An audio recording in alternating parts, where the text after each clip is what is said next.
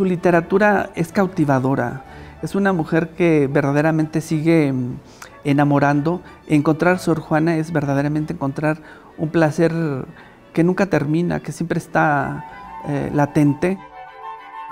Juana Inés de Asbaje y Ramírez de Santillana, mejor conocida como Sor Juana Inés de la Cruz, fue una exponente del siglo de oro de la literatura española que continúa vigente. Publicando tantos libros, digo, ¿la mujer está viva o está muerta? La vigencia de Sor Juana está justamente en su palabra, en sus poesías, en su obra. Un triunfo muy peculiar de la historia de la imprenta, eh, que una mujer, siendo monja, publicara tanto y por tanto tiempo sus obras y sus, sus poesías. Lo que prevalece es el interés posiblemente de sus lectores por su obra, por la actualidad y por el impacto.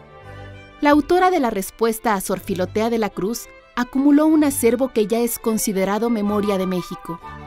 Este acervo, el, eh, el año pasado hicimos todo un trabajo para que este acervo fuera considerado Memoria de México por eh, el, Comité Mexicano de Memoria del Mundo de la UNESCO. Entonces fue reconocido principalmente las obras antiguas de Sor Juana, que son los tres volúmenes. En febrero-marzo recibimos el, diploma de acreditación de que el patrimonio de la universidad, este patrimonio de Sor Juana, antiguo y moderno, es reconocido como memoria del mundo de México. Sor Juana es un punto de convergencia y de identidad de la cultura de México. Posiblemente sea la mayor eh, eh, escritora eh, permanente en, la cultura literaria de nuestro país. Nacida en la hacienda de San Miguel Nepantla, Estado de México, el 12 de noviembre de 1648, ingresó a un convento de carmelitas descalzas, pero sería en la Orden de las Jerónimas donde permanecería hasta su muerte, escribiendo con la libertad que no hubiera tenido al haber elegido el matrimonio. Los últimos años, los últimos 20, 25 años, las investigaciones y los trabajos que se publican de Sor Juana es tanto de literatura fantasiosa, novelas, relatos, cuentos, ¿sí?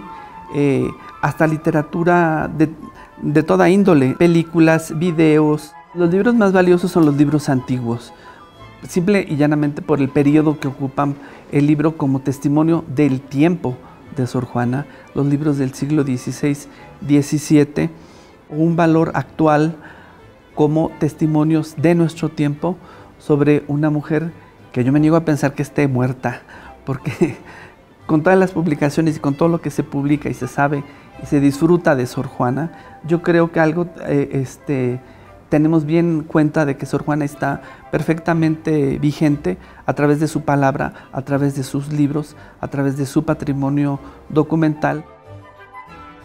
El Centro de Documentación de Sor Juana de la Universidad Claustro de Sor Juana posee distintos tipos de ejemplares de la poetisa mexicana. Este tipo de libros que tienen que documentan el paso de, Sor Juana en la cultura de México son eh, de, particular interés. El libro siempre es un objeto de arte, ¿no? Y cuando eh, el libro digamos que tiene dos valores un valor intelectual y un valor material. ¿eh? Los libros de Sor Juana pues llenan muy bien los dos valores. ¿Cuál es la importancia y la belleza y la trascendencia de estos libros que entre comillas no se pueden leer? Pues yo digo que es el libro como contemplación, el libro como objeto, ¿sí? el libro como testimonio de cultura,